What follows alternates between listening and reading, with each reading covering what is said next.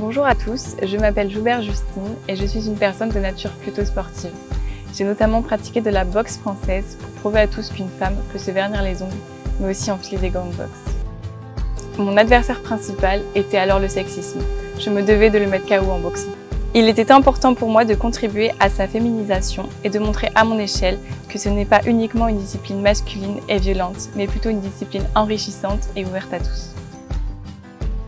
Au-delà d'être un sport qui me permet de m'entretenir physiquement, la boxe me permet de dépasser mes limites et de prendre davantage confiance en moi.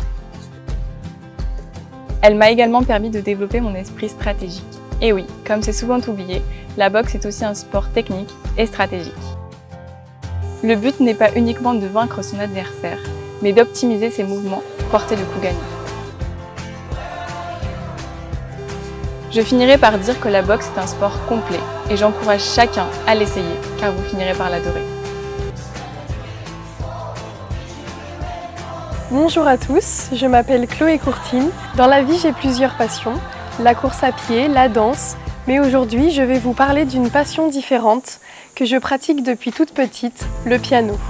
Jouer du piano, c'est pour moi euh, une libération de mes émotions, c'est quelque chose qui m'apaise et que j'aime partager avec mon entourage. J'ai voulu faire du piano très tôt car j'adore le monde de la musique dans lequel on peut partager des émotions tristes comme joyeuses. Mon morceau de musique préféré connu est la lettre à Élise de Beethoven, non seulement parce que je la connais par cœur, mais aussi parce que c'est un morceau que l'on peut réinventer et modifier selon nos envies, en faisant preuve d'imagination et de découverte. Le piano s'ouvre sur une clé de sol ou une clé de fa. Pour ma part, je n'ai pas besoin de clé pour m'ouvrir au monde. Bonjour, je m'appelle Emma Gâteau, j'ai commencé la danse classique à l'âge de 3 ans. Ma perception de cette discipline a évolué au fil du temps. Un souvenir de douceur, d'innocence et de précision. Cette odeur singulière qui se dégage des costumes et qui a marqué ma mémoire.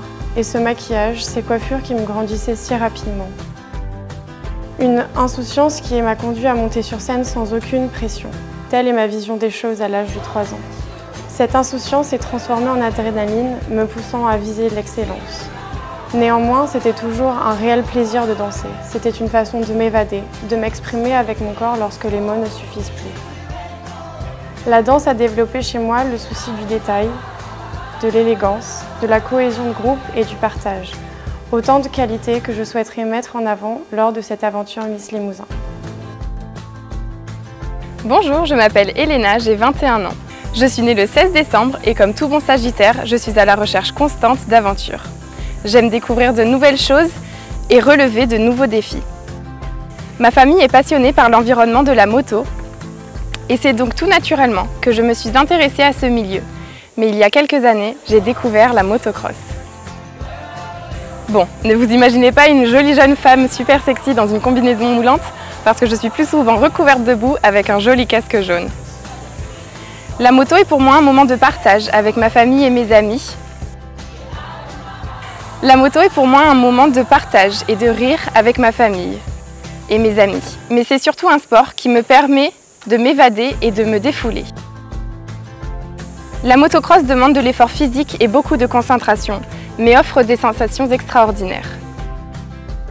Mais si je l'aime autant, c'est que même à mon petit niveau, elle m'incite à me défier pour me dépasser et m'améliorer. Et quoi de mieux que les beaux paysages du Limousin pour pratiquer ce sport?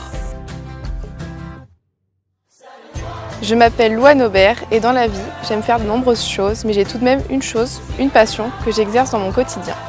Il s'agit là de la musculation et du stretching.